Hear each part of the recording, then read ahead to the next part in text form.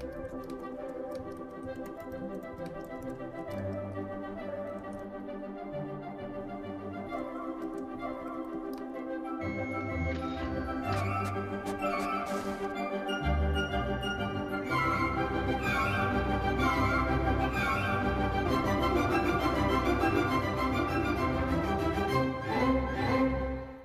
je klaar voor, Lisbeth? Ik ben er helemaal klaar voor. Hallo Lisbeth, ik ben een moeder van 73 jaar en ik heb een dochter van 51.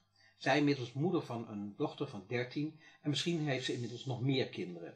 Ik heb mijn dochter en mijn kleindochter al 12 jaar niet meer gezien of gesproken en dat is een zware last voor mij.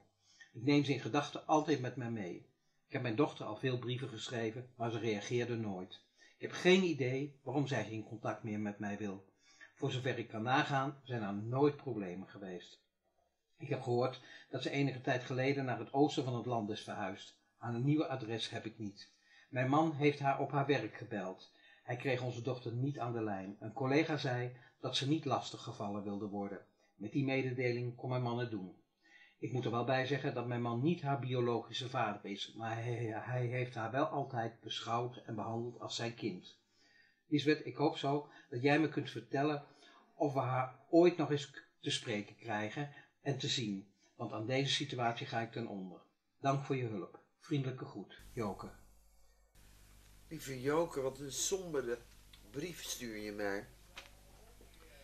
Ik ben er helemaal van ontdaan. Als ik jou voel, maar ook je dochter, is er in het verleden heel veel gebeurd. Ik heb het gevoel dat er heel veel ruzies zijn geweest. En ook iets met je huwelijk is het niet goed gegaan. Dus het is voor mij niet makkelijk om het even op te lossen. Maar op een of andere manier krijg ik wel een signaal te zien dat er weer een ontmoeting komt. Alleen is het geen ontmoeting van gezellig met kersen bij elkaar eten en bij elkaar zitten.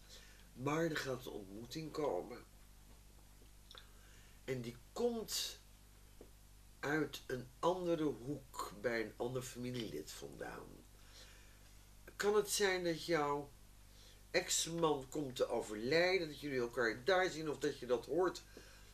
Maar ja, er is veel meer aan de hand. En ik heb het gevoel dat het je enige kind is, waarom weet ik niet, maar bereid je wel voor dat het een eenmalige ontmoeting is. En dat je er helaas mee zal moeten leren leven. Dat het nooit meer zal worden zoals het was. Maar jij weet wat er fout gegaan is. Dat hoef je mij niet te vertellen. Maar er is iets heel naars tussen jullie, uh, tussen jullie gebeurd. En dat heeft te maken gehad rondom de scheiding. Dus het spijt me dat ik je niet meer hoop kan geven. Ik zou de, de, de, de jaren dat je er nog bent, zou ik op een andere manier genieten. Ik voel je pijn heel erg. Helaas kan ik alleen maar dit tegen je zeggen.